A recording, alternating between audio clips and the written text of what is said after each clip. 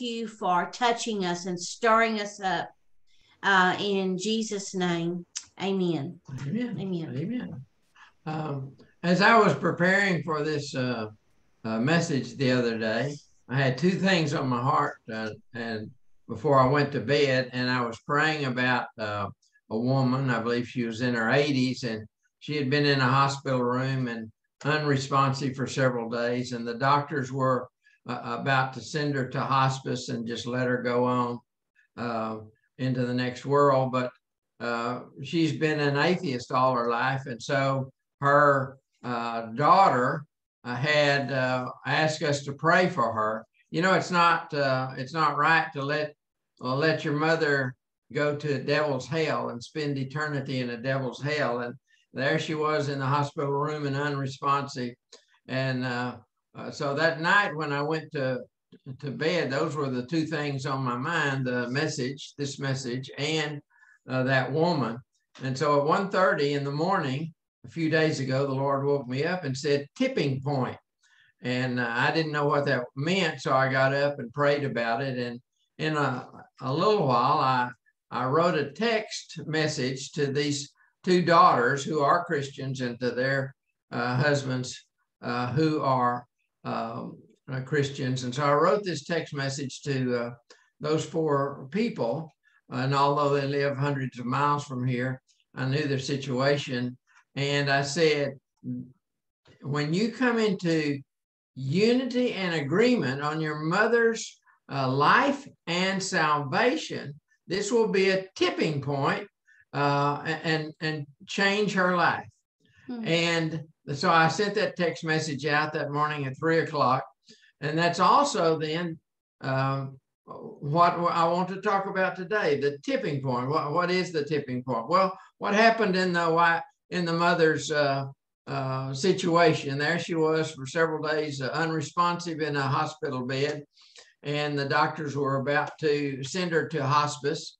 And uh, then uh, when that uh, four people, when those four people got into agreement and got in, and I was in agreement with them for the mother's life and salvation, then that was a tipping point. And two days later, she became responsive.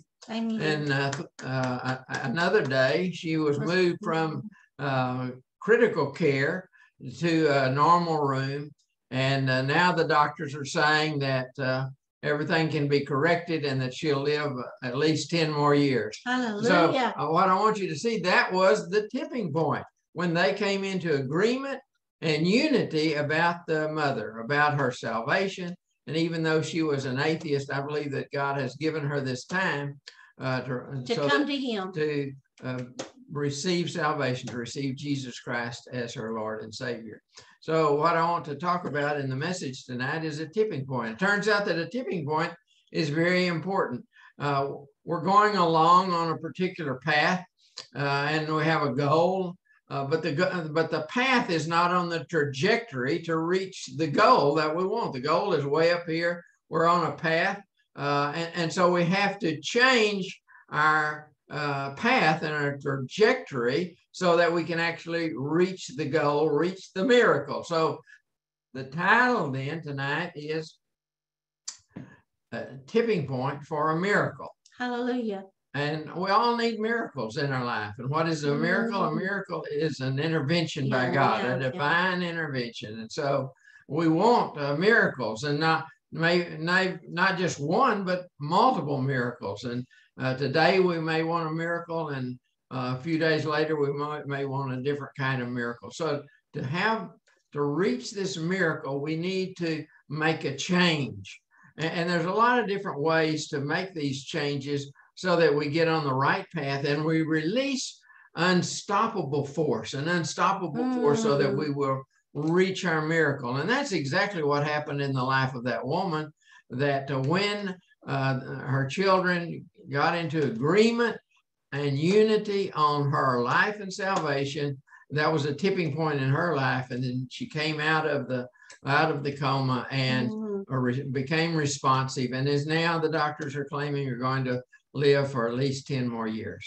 So we need to know about a tipping point, and I have uh, three different main points I'm going to talk about on tipping points. There, there are a lot of different ones, but uh, the first type of tipping point is a prophetic utterance, a prophetic call to action. Yeah, you know, amen. sometimes um, you get a prophet uh, that speaks about something that's going to happen in the future, and it might not require much from you, but sometimes there is a call to action. Mhm. Uh, and so when a prophet gives you a call to action, you need to do that in order to receive your miracle. And uh, one of the first ones I want to talk about is Second Kings 5, uh, beginning in verse 1. And this is about uh, Naaman. He was a general and uh, he had leprosy. And he had, was very powerful and had lots of wealth and all. And, and so he, a little woman told him about uh, there was a prophet in uh, in uh, Israel that if he went there and they got in Israel that he would be healed from leprosy. So he finally got to the house of uh, Elisha, Elisha, and uh, Elisha sent word out to him, go uh, and dip in the Jordan River seven times, and your your skin will be restored and you'll be cleansed. Okay, that is the prophetic call to action. A prophet Mhm. gave it. It's a prophetic uh, utterance, and it was a call to action. He did, he needed to do something, Yes. and uh, when uh, he got through uh, hearing what the prophet had said, he he wasn't too happy about it. That's what happens a lot of time. People hear from the prophet and they don't like what they hear. And in this case, That's right. that in this case, um, he was supposed to go to the Jordan River and dip, but he said, "Well, the rivers from my country are they are Much Clean. cleaner. clean and pure. I'd rather go there." And uh, and do I really have to do all of this? And his servant said, "Well, if it was a big thing, you would do it." Uh, so this is what the prophet has said. So let's just go ahead and do it. So they went down. Uh, he was a little reluctant on it, but he went down to the river. See, this is a call to action. It means you have to do something. He went down to the River Jordan and he dipped. Now, he dipped once and twice and three times and nothing happened. He dipped four times and five times and six times, nothing happened. And if he'd stopped right there, dipping six times, he would still been disobedient to what God was telling him to do, and he would not have gotten healed. But he dipped seven times, and when he came up the seventh time, his skin was restored Mm. and his body was cleansed from leprosy. Amen. That is an example of a prophetic call, and it was a, a tipping point, a tipping point, because he wasn't going to get a miracle uh, without this, and he needed to do this particular action. And so we're all on a process, and, and we're trying to get closer and closer to Lord to the Lord, and we have goals about miracles we need in our lives. And in this case, he needed to do what God told him to do through the prophet, and, and that he he got his miracle that way. So it's a change in trajectory. It's it's a a you're going one way, and now all of a sudden you're going in a different way. And now, because you're obedient to God, uh, you've released uh, unstoppable forces that will cause the Mm, miracle to come to pass. Let's look at another uh, example of a prophetic call. And this is uh, Mark chapter, I mean, John chapter 9, St. John chapter 9, uh, beginning again in verse 1. And uh, in this case, uh, Jesus and his disciples go past a man who uh, was blind, who was born blind. And they had a discussion about that. And then Jesus said, I'm the light of the world. And when he, after he got through saying that, he spit on the ground and he made uh, mud uh, from Mm. the ground with his spittle and he, and he put it on the eyes of the blind man. Uh, and now you could think, well, why didn't Jesus do what he did in the other tra- in the other gospels? Well, he ran across a lot of blind men. I think he Mhm. healed more blind men on specific things uh, than uh, perhaps any other type of infirmity. Uh, and and he never did this before. And so uh, they could easily have said, well, sometimes you just spoke to people, sometimes you just laid hands on their eyes and they were healed. Uh, but in this case, this is a prophetic call to action. And Jesus said to the man, uh, Go to the pool of Siloam and wash And wash. and and you'll come seeing. Okay, now the man could have argued with him and said, "Well, I, I was on my way to the Jordan River. I, I'll, I'll just uh, wash off my eyes in the Jordan River, or I may just want to go home." But see, see, people in their mind they begin to have a battle about what to do. But see, this is a Mm. prophetic call to action, and when you receive a prophetic call to action, you have to do precisely what What has been say. told to you.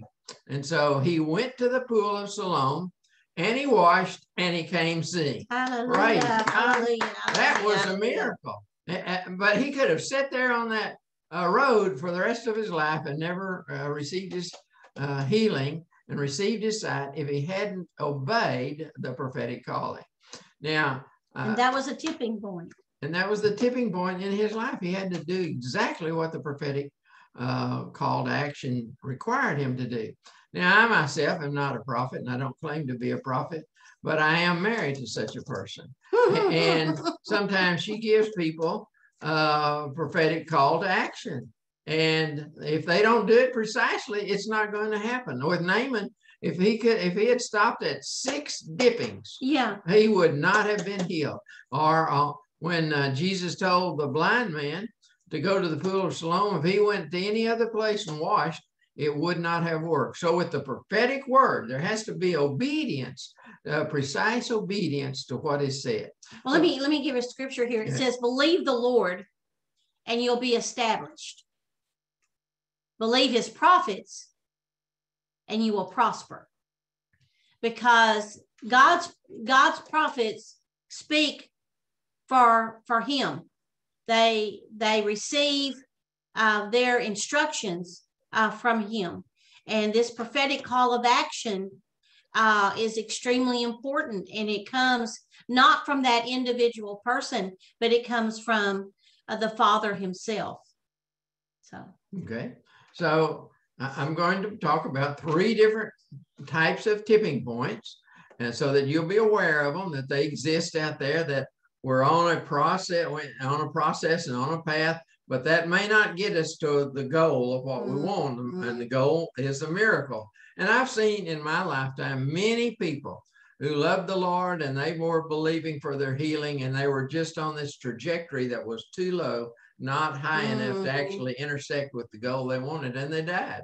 Uh, they needed a tipping point. They needed uh, someone uh, to help them, or they needed to get a hold of God in such a way that they would release the unstoppable force that would Hallelujah. bring forth the miracle which they wanted. So that's You know, I, I love that phrase, unstoppable force, because that means that no demon in hell can keep your miracle from you or your healing from you. You know, that means when it says unstoppable force, that only only the Lord has that that force. Hallelujah. Hallelujah. Hallelujah. Okay, the So may the force be with you. may the second type of tipping point I want to talk about is a proclamation. I talked about a proclamation earlier. Um, Matthew 10 27 says, uh, What you hear whispered in your ear, you proclaim from the roof, rooftops. Okay, so I want to ask uh, Has anyone uh, taken your ladder around to your house and, and Climbed up on on your roof roof. and proclaimed something. Well, that's what a proclamation is. So if you get serious about it, you better get on the rooftop and proclaim what you've heard God say to you in the ear, what he what he's whispered to you. But there, you don't have to do it from the rooftop, and you can have some, the same effect. And a good example of that is uh, Elijah in First Kings uh, chapter 17, and and evidently he had been uh, spending time with the Lord, and the Lord whispered something in his ear. And so what he did, he went to the king. He went to Ahab Mhm. and said, uh, "Before whom the Lord God, before whom I stand, uh, has instructed me to come here, and I'm proclaiming that it will not, there will not be dew or rain in Israel except at my word." Now that's a proclamation, and that's that's essentially doing it from the Mhm. rooftop because he didn't just tell his brother or his mother. He, he went to the king and let everybody know it's not going to rain. uh, we're going to have a drought in this country, and it's all because I have st- stood in the presence of the Lord, and He's telling me uh, to proclaim this. And you think, well, why would the Lord want to uh, have a, a, drought over Israel? Well, because they were so double minded. They didn't know who God mm. was. Uh, they were serving Baal, they were serving God, and that they didn't know. So in this case, God wanted to get their attention, and He sent Elijah out there to the king and said, It's not going to have dew or rain in this nation until I say. Now, we don't know exactly from that how long it's going to be, but we found out in James chapter 5 that it was three and a half years. years. For three and a half years, there was neither dew nor rain over the nation of Israel because we have a person who made a proclamation. Uh, now, at the end of that uh, three and a half years, uh, he went again to Ahab.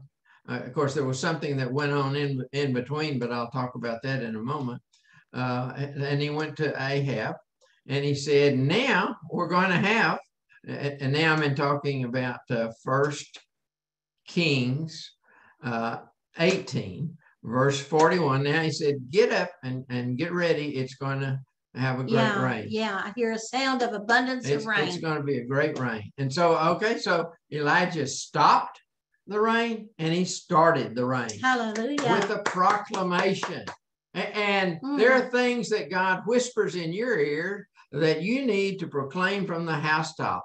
Uh, you need to go to, uh, talk to the king, talk to the president, or whoever God sends you to. Make a proclamation, and you can stop the rain. You can control the weather. You can move mountains with your proclamation. Amen, amen. And uh, I've told you this story uh, before, but I want to bring it up here again because it fits. And that is uh, in January the 8th, 1993, uh, Sherry had just been diagnosed by three doctors with a terminal cancer. They said that she would not live for six, six months. months. And uh, on January the 8th, I began teaching a series to a congregation uh, on healing. And, and, that's a, uh, you see, there's a real contrast there. The doctor said my wife's going to be dead in six months, and I'm teaching that God is the healer and He always heals and heals every time, and uh, He never withholds healing. Hallelujah. That's what I'm going to teach, and yet they're saying she's going to die. So I made at the beginning of that teaching because I had heard from the Lord. I had been in a lot of prayer. Uh, Sherry had been in a lot of prayer during that time, and one of the things I heard uh, as I was teaching uh, that I was heard as I was preparing to teach was I was to make a proclamation. And the proclamation I made was the doctors say my wife's going to die in six months. And I, but I say that she's going to stand and declare that she has been healed within mm-hmm. six weeks because I was going to teach about healing for six weeks. And I said, during this six week period, uh, sometime uh, during this six week period, she will stand and proclaim uh, that she has been healed. Okay, so what happened when I said that, Sherry? Uh, well, I think I, have shared this before, but uh, as I was sitting there on the front row, I began to feel hot oil start. It started at my head and it went down uh, through my face and down through my body, all the way down through my toes. And then I was lifted, literally lifted off of the pew and I was just dangling there. Uh, and then the Holy Spirit put me back down on the pew. But I knew then that the Lord had taken the cancer out of my body. Uh, I knew in my heart, just like the woman in, in Mark chapter 5 uh, with the issue of blood, she knew that she had been healed of her plague. And that's exactly what I felt in my heart. I knew then that the Lord had given me uh, the the miracle that I had asked for, and that was to destroy the the cancer. And so on that Friday, uh, we started on uh, January the eighth here, and then on that Friday, uh, the doctors did exploratory surgery on Sherry, and they came to her and said uh, three doctors are, were in agreement that she had terminal cancer, but when we got in there, there was none. It had been taken Hallelujah. away. And Hallelujah. Jesus and Sherry said it was Jesus. Jesus took it away. Amen. So on the next uh, uh, uh, the next time I was going to teach, which was January the 15th, uh, she got up and stood and declared that Jesus had healed her. Amen. So the doctor said she's going to be dead, dead in six months, but the Lord told me to proclaim that she would stand and declare that she had been healed within the six weeks, which exactly, which is exactly what happened. Now I didn't actually drag out my ladder at that point and get up on the housetop, but what I did do was to mhm. declare it and proclaim it to a congregation of people, and that's equivalent uh, to pulling out your ladder. And so, Well, let me let me just add to Okay. this that that when I heard that proclamation come from from Brother Fred, that was a tipping point for me. That was it was like it solidified. Uh, even though I had already uh, heard, um, you know, the scripture in Psalms one eighteen that I should live and not die and declare the works of the Lord. This was a tipping point for me and I took hold of it. And that's what we have to do with with any miracle, with any healing in us, in our bodies, in our families, in in our finances. We have to take hold of it, uh, and there's always a tipping point uh, that that tips you over uh, to to to victory. Hallelujah. okay. So uh, here's another person who made uh, some proclamations, and that was Jesus. You know, when he came out of the wilderness, he'd spent time in the wilderness, 40 days in the wilderness. It wasn't because he was sick, and it wasn't because he needed to hear from God. He it was a lifestyle change. So he was fasting for a lifestyle change, and, and he went in there very much uh, concerned and focused on the Word of God, and, and so he, he On was the law. uh, on the law. And uh, but then he came out of that uh, desert, forty days of fasting, his lifestyle changed. He became a man of the spirit, and uh, it- Mm. and so he went to the temple. Uh, after that, uh, Luke four verse uh, eighteen, and he said.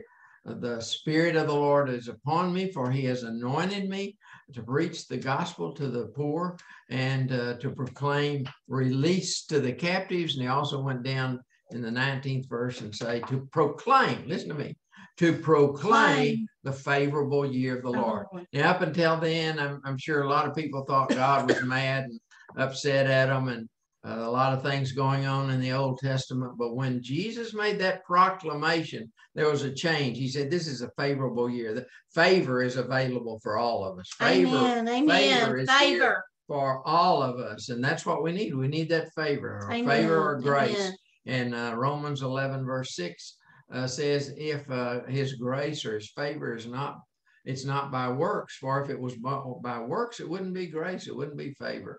But so what he has for us is favor. Uh, God's in a good mood.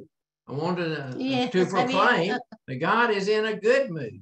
And he this is the favorable year of the Lord. This is the year that he's showing forth his favor.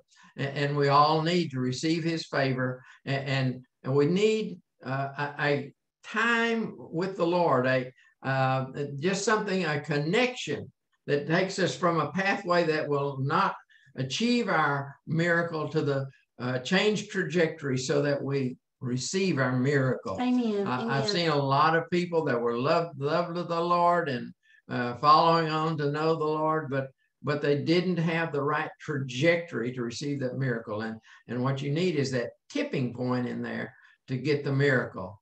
Uh, and th- that's what I'm trying to explain to us today. That uh, the miracle that you want, the goal that you have, whether it's today or whether it's down the road, uh, that it's possible and it's feasible because this is the favorable year of the Lord. God is releasing his favor upon us.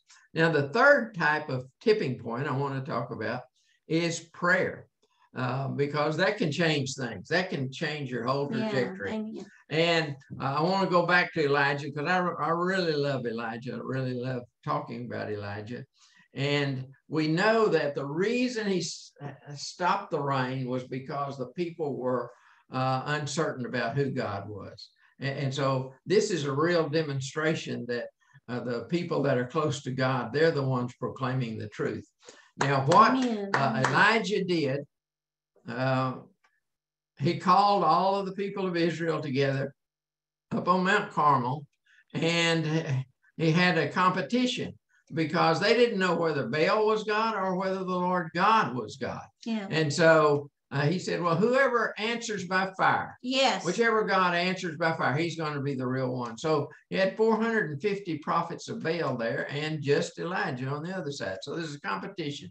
So all day, uh, the uh, prophets of Baal tried to get fire to come down, but they never did. And so here's a prayer beginning in verse 36 and 37. I'm talking about a prayer can be a tipping point. And uh, uh, Elijah prayed a very simple, simple prayers, just two two verses in that uh, passage, and he said, uh, uh, "Lord uh, God of Abraham and Isaac and Jacob, uh, let this people know uh, that you are God, and that I am your servant, and I've done these things at your command." And now answer me. So, what was the answer? He's looking Well, for fire to come down. Come down. And, and so, and and uh, let these people know that you're turning their heart to you. Simple prayer, short prayer. There weren't any ifs, ands, or buts about it. It was there. yeah. And when he prayed that prayer, the fire fell from heaven. Mm. Uh, hallelujah! And, and and it consumed the uh, the burnt offering and the Mm. stones and the sand and the water and everything just consumed it up. And the people fell down and uh, worshiped the Lord and said, "The Lord is God. The Lord is God. Jehovah is Hallelujah. God. Hallelujah. God." And so when they they they got their hearts settled in that time, and that's what it was all about, and that's what his prayer was about to get the people's hearts settled, uh, turn their hearts back to God. And when he said, uh, "Turn their heart back to God," he did. God turned their heart back to God. So a prayer can be a tipping point, and uh, uh, so the nation turned its heart back to God and away from Baal. Uh, and so that was a tipping point, that prayer.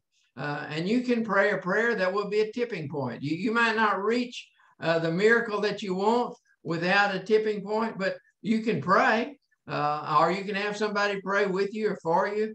a- And, that can be a tipping point. It takes you away uh, from this area of doubt and unbelief to an area where you're going to receive uh, your miracle. So Amen. prayers are very important, uh, important tipping point. So what I've been talking about today is just simply this: that sometimes we uh, are on a path where we're loving the Lord, growing closer to the Lord, but we have goals of uh, miracles that we want to receive, and we may not be on the right path to receive those miracles.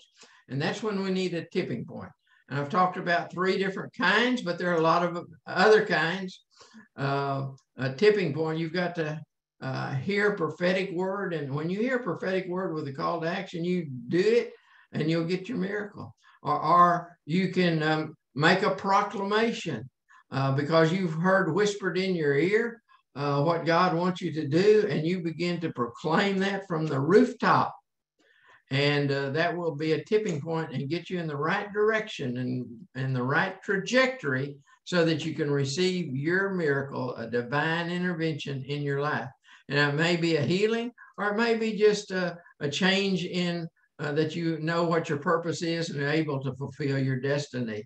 So a lot of different kinds of miracles.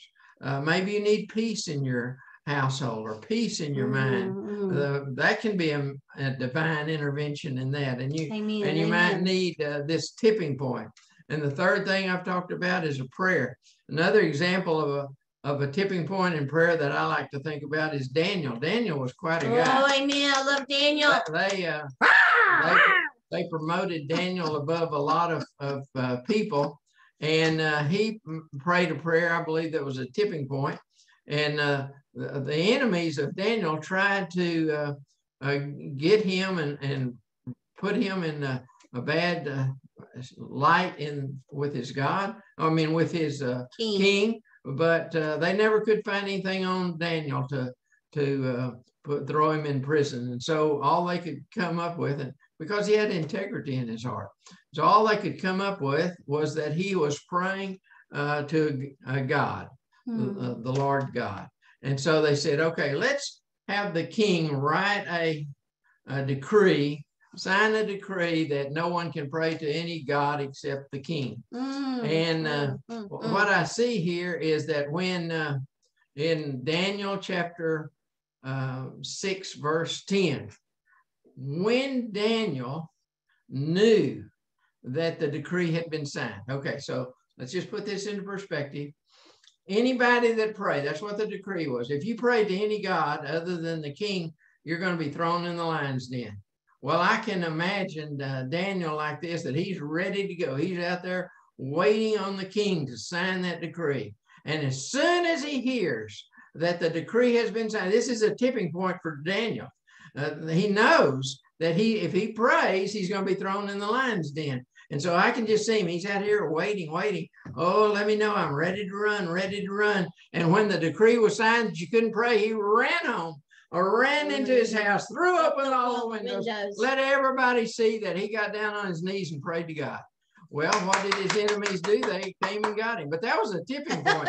Uh, God saw that Daniel wanted to pray uh, as soon as the, as the decree was signed that he couldn't pray. And uh, so the enemies got him and eventually got thrown into the lion's den. But you know, he'd already had his tipping point. He prayed when they said you couldn't pray. And uh, the, li- the lions didn't eat him. That you'd say, well, they weren't hungry. Oh, no, they were hungry. God shut their mouth. Uh, and so he sat there all night. I believe he just uh, put his head up on a pillow of a, of a lion's mane, fluffed it up, and then just laid his head on it. And the next morning, the king said, "Well, I couldn't sleep." Well, Daniel slept, and so uh, so you're still alive. So they got Daniel out, and they threw all of it, Daniel's enemies into the lion den, and the lions Lions ate them up. were they were hungry. They Yes, they ate all of those people up. Yeah. They couldn't eat one up. They couldn't eat Daniel up uh, because God shut their mouth. But the next day they ate all of these other people up. So that's a tipping point right there about prayer. Prayer, that's a tipping Yes, point. amen. Kept him from being consumed by the lions in the Mm, lion den, mm, and all of his enemies were destroyed mm, out, out of that uh, tipping point right there. So I've given you some examples, and I want you to know that everything's possible with God. If you need a miracle, it's possible. And I hope these will be helpful tools for you. Amen.